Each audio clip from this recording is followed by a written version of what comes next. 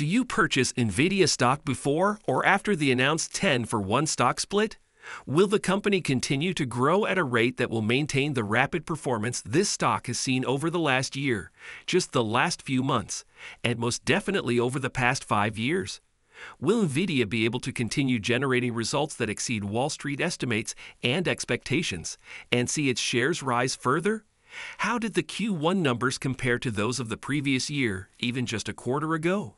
How does the stock look technically after the battle? We have a lot of questions and answers about NVIDIA, so hopefully all of you investors are doing well. We only get four chances to do this, and today is one of the biggest. With the ticker symbol NVDA, NVIDIA Corporation is one of the most significant stocks. Some could even argue the most significant stock in the stock market, so we have a lot to discuss. Shares have increased by 25% over the past year, which is impressive. More impressive, in my opinion, if you go back a little less than six months, right after the ChatGPT and long after it was established that NVIDIA is the Michael Jordan of the GPU AI data center industry. Extend this thing to 5 or 10 years, and the shares are still up almost 100%. So, really, there isn't anything to be upset about. We'll get to that right away because the company announced a 10 for 1 stock split. Some retail investors or newer investors may not know how a stock split operates or may be unsure if they should wait to buy until after the split, which takes effect on June 7. In essence, if you were to purchase NVIDIA shares today and you wanted to purchase a single share, you would have to dig into your pocket and withdraw $950. Let's assume that NVIDIA shares will round this up to $950. Therefore, if the 10 for 1 stock split occurs tomorrow, you would have 10 shares of NVIDIA rather than just one valued $950 in your account. To do this, you would need to divide the $950 by 10. Therefore, after the stock split, you would essentially have the same amount of money invested in NVIDIA as you did yesterday. The only way that stock splits really affect the stock price or your decision to buy now or later is if you have a brokerage account where fractional share investing is not permitted, in which case you would withdraw $1,000 to purchase a single share of NVIDIA.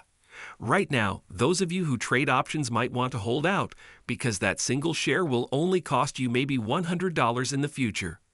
There will likely be some effect on option prices since NVIDIA's price will drop following the stock split. However, NVIDIA's significant $2.3 trillion valuation means that there aren't many companies worth more than it currently. The only ones left on the list are probably Apple and a few others. If NVIDIA wants to surpass Microsoft, it will need to post strong earnings over the next 12 to 24 months. And that is precisely what the company has been doing over the last year. They also declared a 150% increase in dividends, up to 10 cents per share, which, when you look at it, is obviously rather insignificant. However, if they keep raising the dividend by this much every year, this could become one of the greatest dividend growth stories ever. Meanwhile, Q1 revenues are astounding, coming in at $26 billion, exceeding expectations by roughly $1.5 billion, or 262% year over year growth, and for the past year, the business has been doing just that. Additionally, they announced a 150% increase in dividends to a maximum of 10 cents per share, which is obviously quite small. But if they continue to increase the dividend by this much each year, this might turn into one of the greatest dividend growth stories in history. Surprisingly, Q1 revenues exceeded forecasts by around $1.5 billion, or 262% year over year growth, with a total of $26 billion. If we look ahead, not just at the upcoming quarter, which we will discuss, but also a year from now, the expectations for NVIDIA are $32 billion. If you think the company has a chance to reach 38 billion or $40 billion, and if we look forward and they can double revenues again up to 50 or 60 billion dollars, you can almost certainly guarantee that you're going to have fantastic stock performance from this company. If you believe that Nvidia will likely see a 100% increase in value, that is probably the case. Once more, you must have faith in these predictions as the year draws to an end.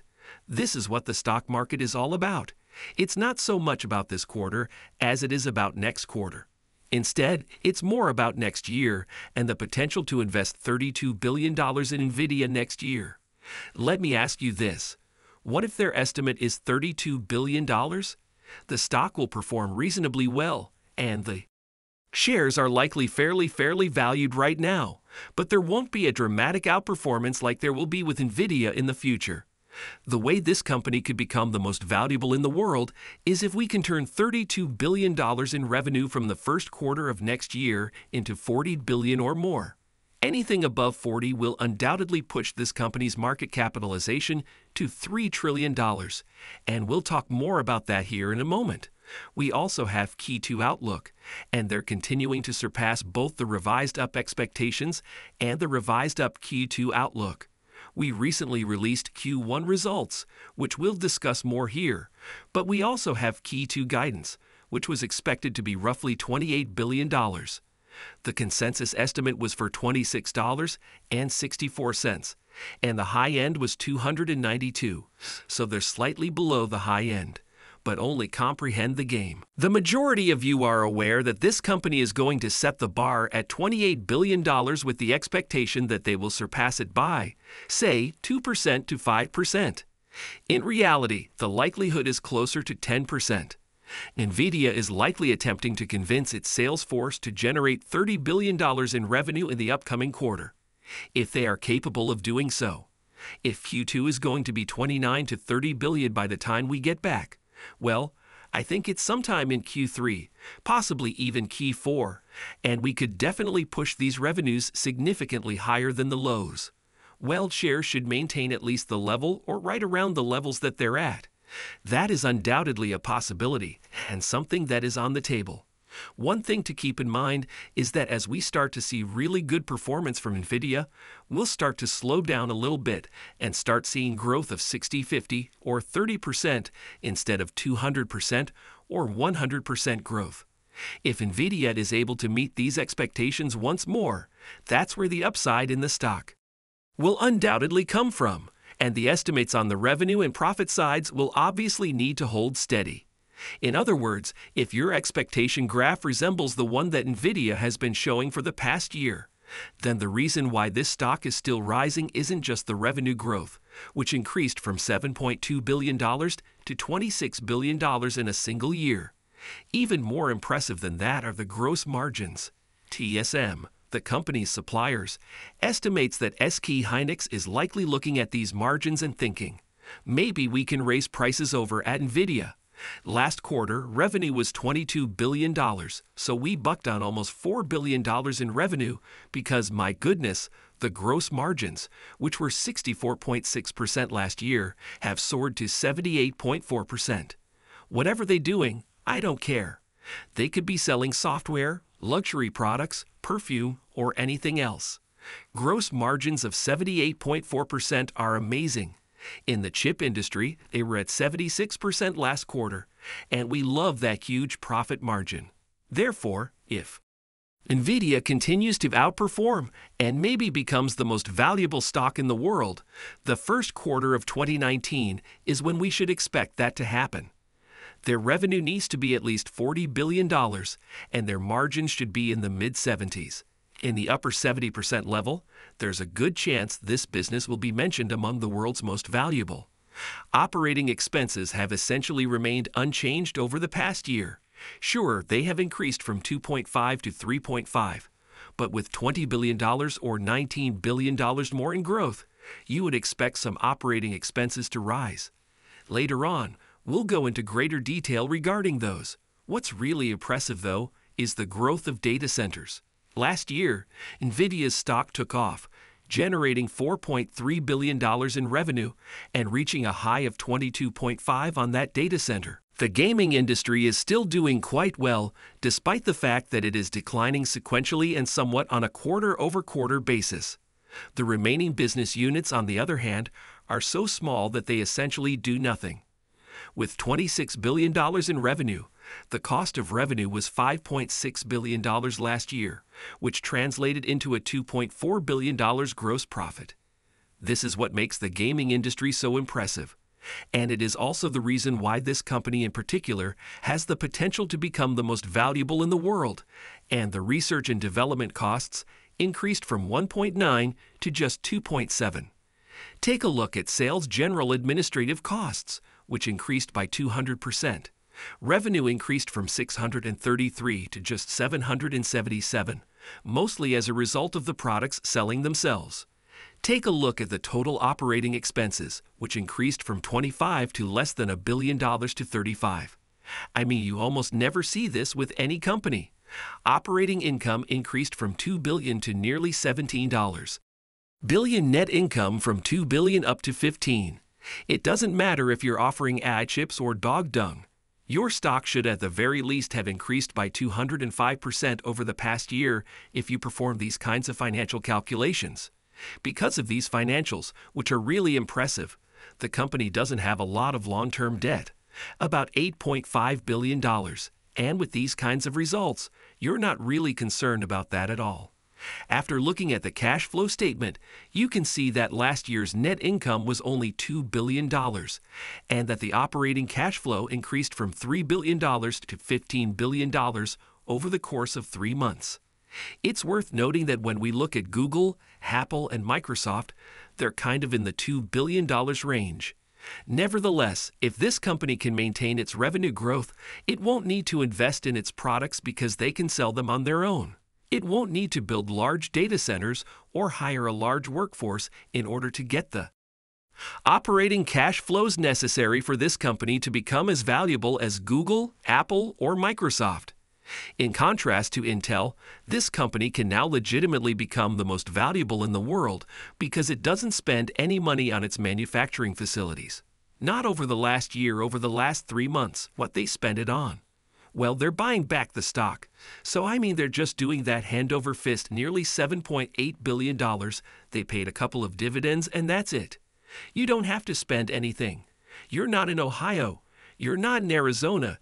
You're just spending a little bit on acquisitions, and that's it. Therefore, forget about revenue growth if you can maintain this cash flow.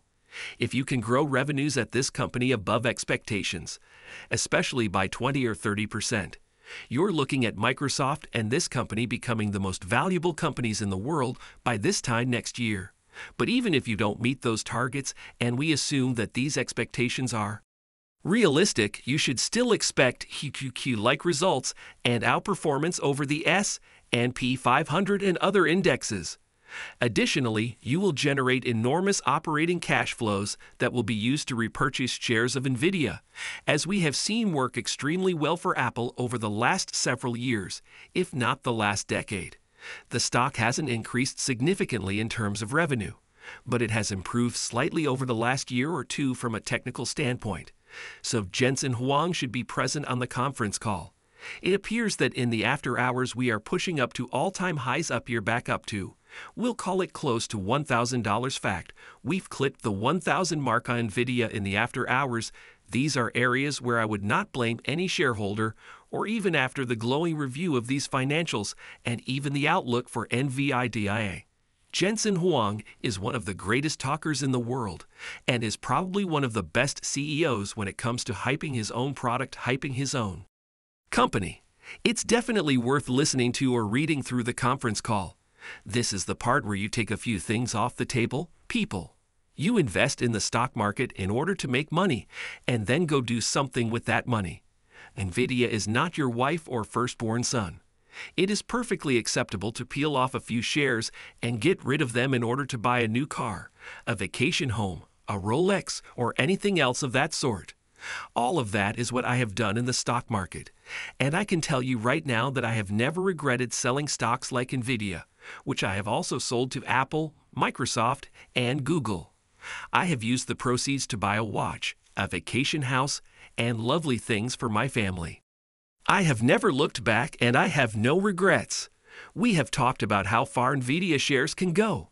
And as of right now, nothing in these financials or the outlook leads me to think that this will slow down significantly over the coming year. The only thing left to ask, in my opinion, is how much will NVIDIA perform better over the coming year and how much higher can it go in terms of valuation than NVIDIA's Q1 results. In conclusion, whether to buy NVIDIA stock before or after the 10 to 1 stock split is a decision that depends on your individual investment strategy and risk tolerance. A stock split, by itself, doesn't change the intrinsic value of a company, but it does make shares more affordable to a broader range of investors, potentially boosting liquidity and market interest. NVIDIA's impressive Q1 earnings report highlights its robust financial health and growth potential. The company's revenue surge, driven by strong performance across its gaming, data center, and AI segments. This performance not only underscores NVIDIA's dominant position in these high growth markets, but also its ability to innovate and capitalize on emerging technologies. For long term investors, NVIDIA presents a compelling case. The company's strategic initiatives in AI, machine learning, and high performance computing align well with future tech trends.